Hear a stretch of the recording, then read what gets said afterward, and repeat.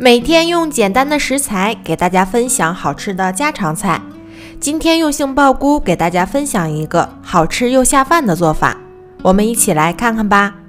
首先把准备好的杏鲍菇清洗干净，然后斜刀切成两厘米左右的长段，再改刀切成菱形片，像视频中这样就可以啦。杏鲍菇的含水量比较充足，不要把它切得太薄。大约有一个硬币厚度就可以了，这样吃起来更加的有嚼劲儿，还好吃。切好之后装入盘中备用。再准备两个青椒，洗干净以后切成滚刀块。如果不喜欢吃辣椒的，可以换成其他的配菜。切好之后装入盘中备用。再准备一根红辣椒来搭配颜色，这样做出来的菜品会更好看。看着也非常的有食欲，把红椒也切成菱形块，切好之后和青椒放在一起备用。接下来再准备一小块去皮的五花肉，把五花肉改刀切成薄片。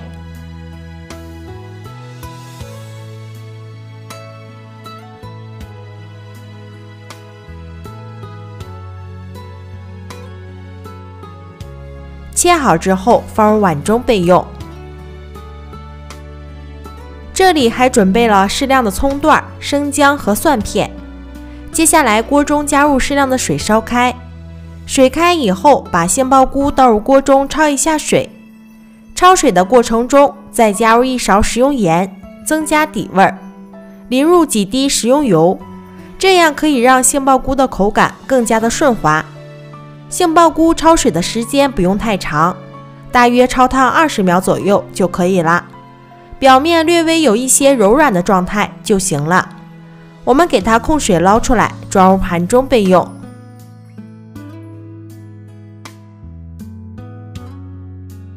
接下来起锅烧油，油热以后，把切好的五花肉倒入锅中翻炒一下，把五花肉炒香，炒至变色，炒出里面多余的油脂。这样炒出来的五花肉会更好吃、更鲜香。炒至表面微微焦黄，像这样就可以啦。这时候把锅中多余的油给它盛出来，留着炒菜吃。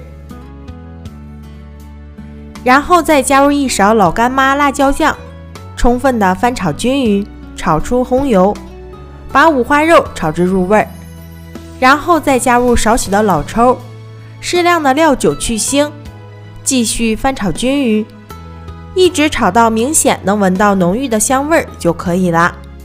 这时候把切好的葱姜蒜倒入锅中，继续翻炒，炒出香味儿。炒香以后，再把切好的青红椒加进来，把青红辣椒炒至断生，这样可以减少它的辣味儿，而且吃起来会更香。把辣椒炒至颜色翠绿断生的状态。再把焯好水的杏鲍菇倒入锅中，开大火快速翻炒均匀。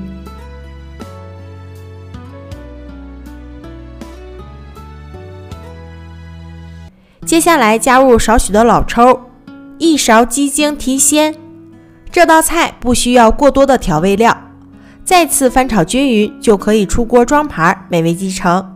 这样一道非常鲜香、营养又好吃的杏鲍菇炒肉就做好了。杏鲍菇这样做非常的滑嫩又入味儿，特别的鲜香，开胃又下饭。喜欢吃杏鲍菇的朋友一定要试试这个做法。如果你觉得我的做法还不错的话，就给我点个赞吧。感谢大家的观看，我们下个视频见。